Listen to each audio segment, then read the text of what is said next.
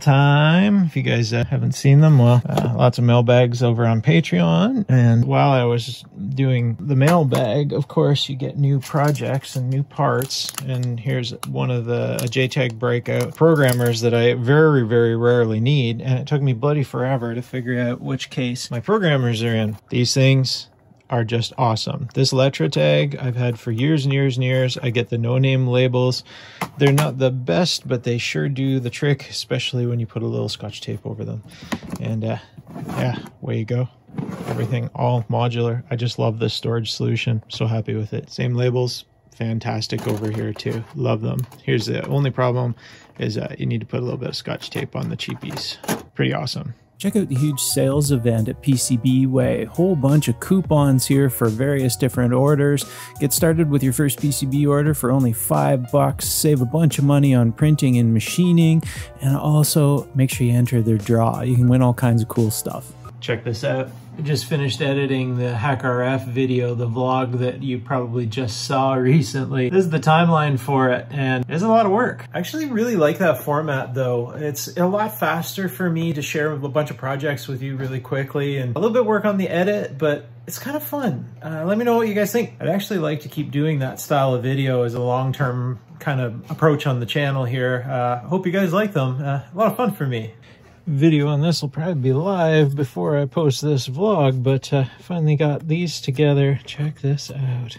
Oh, so happy with this. Finally, I have a breakout for ESP32s that I can use with my home automations and stuff. This will be perfect. I can mount relays here and just mount this right to the wall. Just wonderful. Anytime I'm around home, keep printing off parts for the kits. Roomba kits are a hot commodity these days. Happy about that. These are a lot of fun. a little bit of snow. Feels like winter now. But today is metalworking day.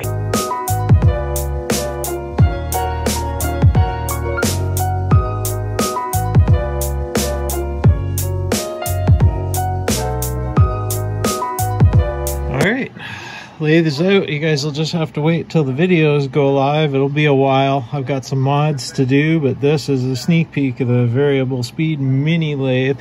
It fits just great on the bench. I'm happy about this. It's small enough that I can do small, mainly bushings and stuff and spacers and whatnot. But uh, I think it'll be a capable unit once we modify this with a quick change tool post. Uh, live center for the rear. We've got a drill chuck.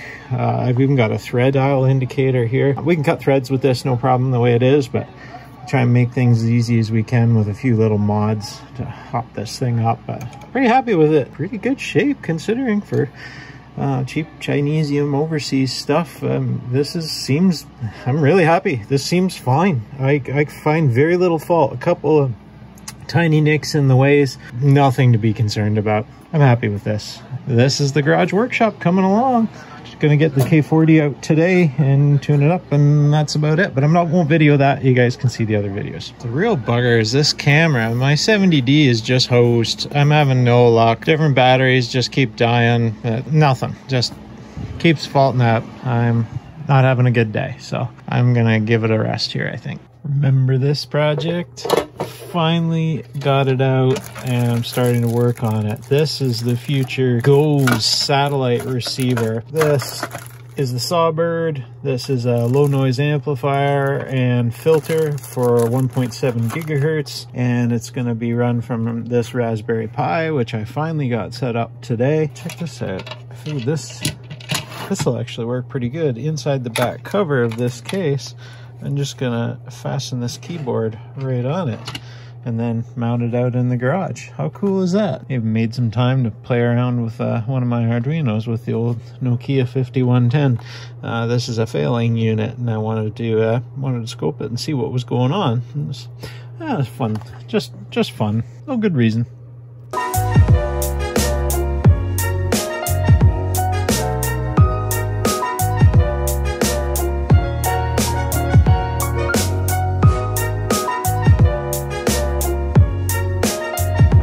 Time again. got a cool little thing. Check this out. This is a vise, a two-way cross slide vise, four inch version that I got cheap off of Amazon to go with my Facebook classifieds find here of a drill press. And what I'm going to do is turn this into a poor man's milling machine. I hope, uh, we'll see, but off the top, got some work to do. This thing is a pretty pretty chunky. So I need to free some things up and retap some hardware. This is yeah no good. It's got a big burr on the end of it where it was smacked so I gotta run a, uh, a die down that and fix it up but we'll see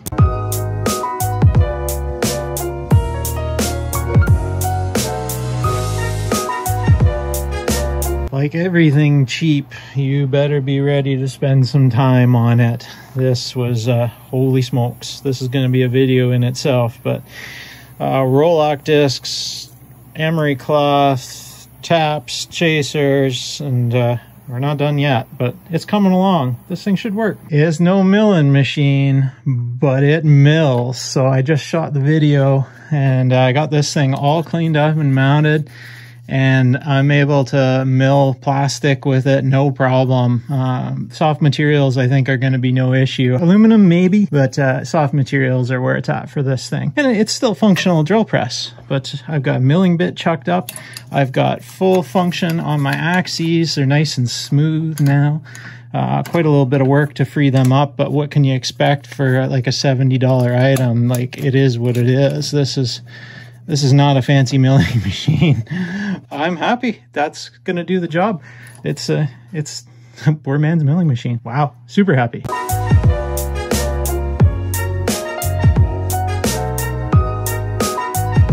All right, it's out. Finally started assembling this. This is the antenna I got off of eBay that I'm going to repurpose for the 1.7 gigahertz of the GOES WeatherSats.